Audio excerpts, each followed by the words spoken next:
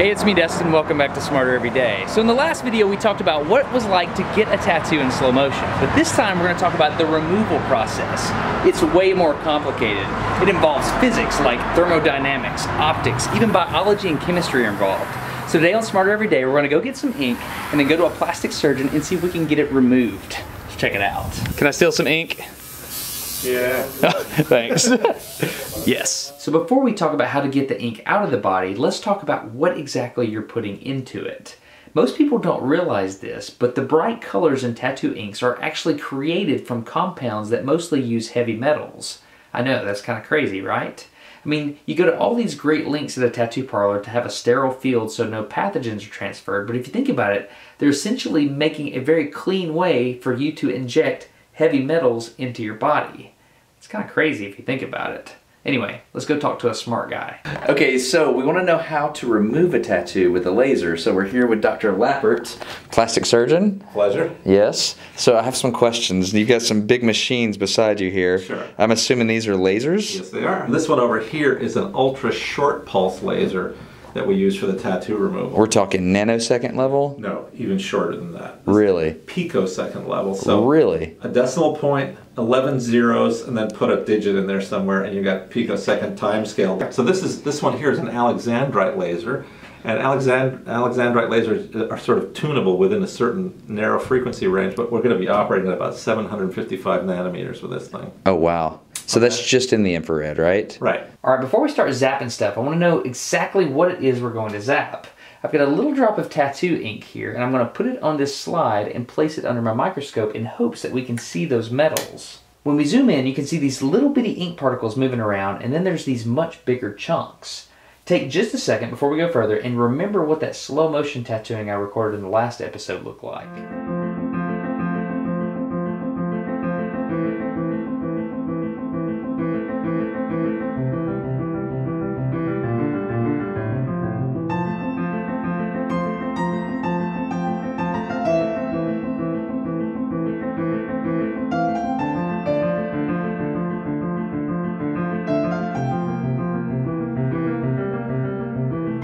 Alright, now that we know what the ink looks like mechanically, we can draw a better picture of what's happening. Multiple needles are puncturing your skin and dragging both big and little ink particles down through the epidermis into the dermis. From the moment the tattoo is placed, however, your body's trying to get rid of it. Your body recognizes it as foreign material, as if you got a sliver under your skin. So your immune system is coming over, looking at this stuff, going, hey, this doesn't belong here. White blood cells come in to remove the pigment. Now, the white blood cell is a very small little cell, whereas the pigment granule is a relatively large structure if you looked at it under the microscope. That white blood cell actually comes over and tries to engulf the pigment granule because the mm-hmm. white cell is so small and the pigment granule is so big that munching away is a very difficult thing. It's like trying to take a, a, a bite out of an elephant. Alright, so this is about to get weird, but I have to do this. I want to know how big my blood cells are relative to the ink particles. So obviously we have to prick my finger and get some blood and put it in there with the ink. Alright, here we go, and we put the microscope slide in, and it is more awesome than I thought it would be. It is, look at it. So we've got blood cells interacting with ink so we can see the relative scale of the two, right? So we've got these little bitty ink particles that are smaller than the blood cells, and we have the larger ink particles that are larger than the blood cells.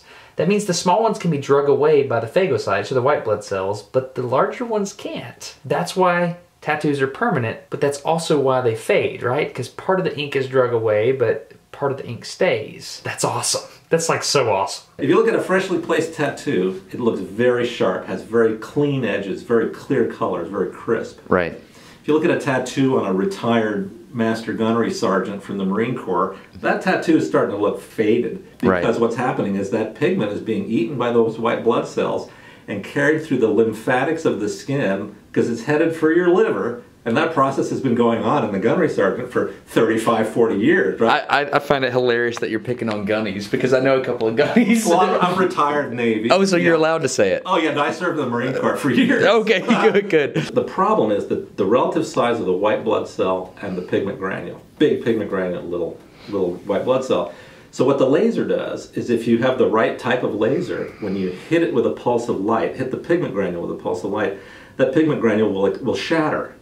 Okay, and so as you shatter the pigment granules, you're making them smaller and more edible.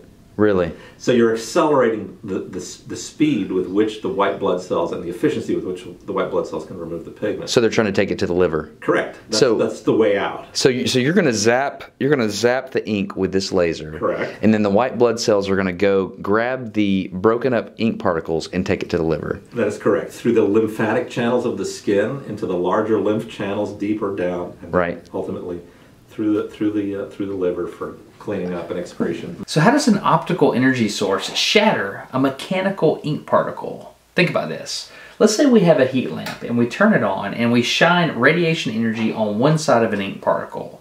What's going to happen is it's going to heat up that side, and then the heat transfer coefficient is going to cause the entire ink particle to heat up from this side towards this side, right? There's going to be a heat gradient. What if you had a really, really, really hot heating lamp and it was very, very fast? Assuming the laser and the ink are the right color, this laser will shine on one side of the particle and heat it up so fast that only that side grows due to thermal expansion. The other side, however, doesn't have time to catch up, so it's still cool, which causes huge internal stresses which rip apart the particle. That's why it's a time game.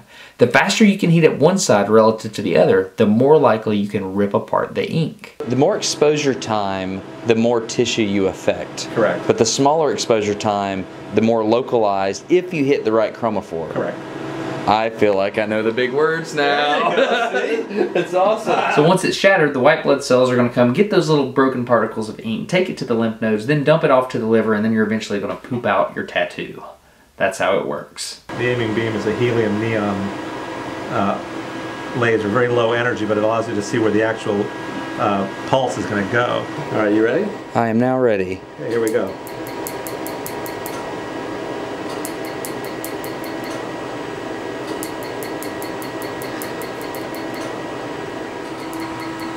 I'm just going to keep treating while you.